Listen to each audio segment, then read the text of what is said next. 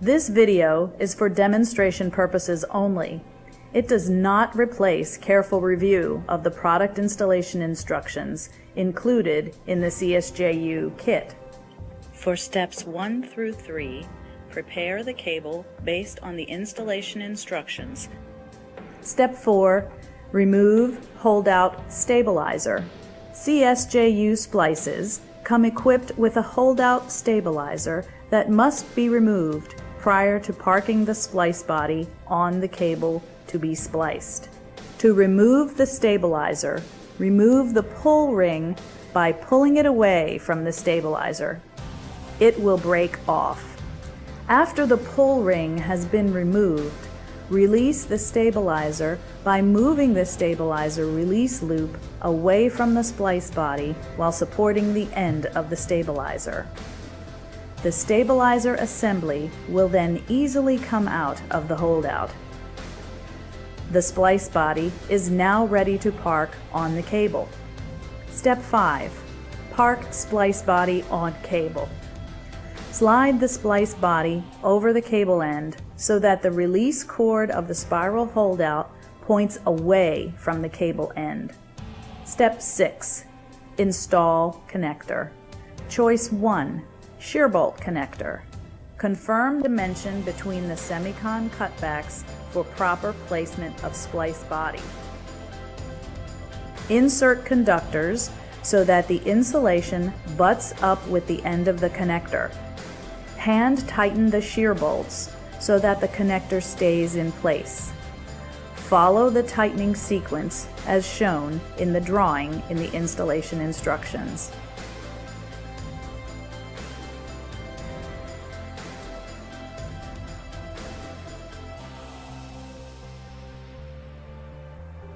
Using the abrasive tape included with the shear bolt connector, smooth any remaining part of the shear bolt that remains higher than the connector.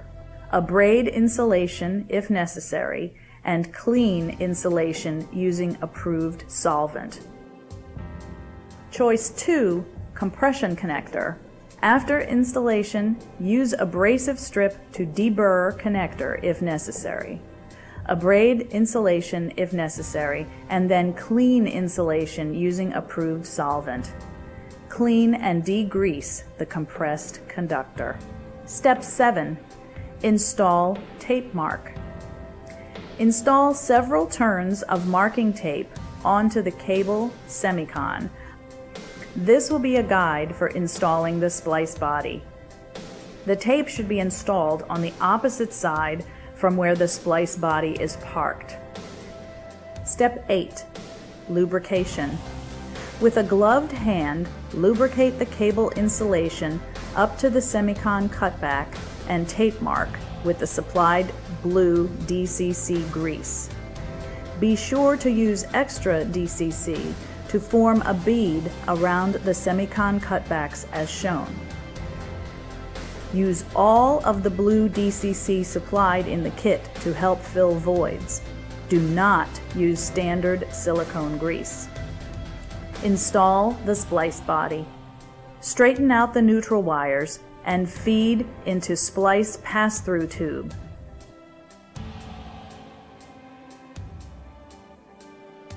Release the spiral holdout by pulling counterclockwise while holding the splice body in place. As the splice body recovers, be sure to align the edge of the silicone body with the edge of the tape mark as shown in the installation instructions. The spiral holdout cannot be pulled out all at once. Slowly pull the spiral holdout on top of the cable and then pass it around and underneath the cable until the spiral holdout has been completely removed. Step 10 Remove tape and lift up neutral wires. Remove the temporary tape that was applied in step 2. Lift the neutral wires up vertically and bring them close to the neutral wires from the pass-through tube. Install a C-crimp connector on the neutral wires and crimp them together. Cut off any excess neutral wires at the connector.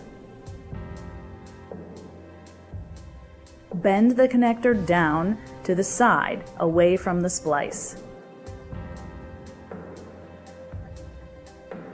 Wrap C-crimp connector with vinyl tape as shown.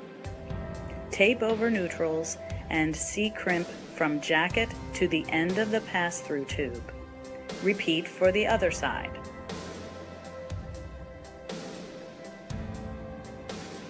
Step 11. Expand rejacketing sleeve. Install a strip of gray sealing mastic at each jacket cutback. Wipe any grease material off of the black rejacketing sleeve to allow for a positive grip on the rejacketing sleeve. Twist the top black rejacketing sleeve from side to side to release the grease under the jacket. Slide the rejacketing tube over the cable jacket.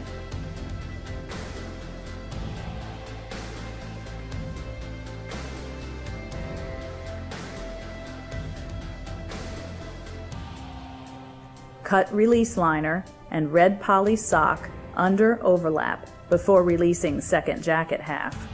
Remove release liner and red poly sock, being careful not to damage the jacket or the splice body.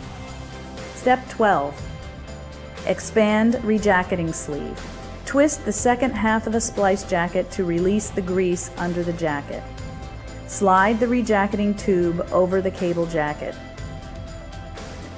Cut release liner and red poly sock under overlap, being careful not to damage the jacket or the splice body. Splice is complete.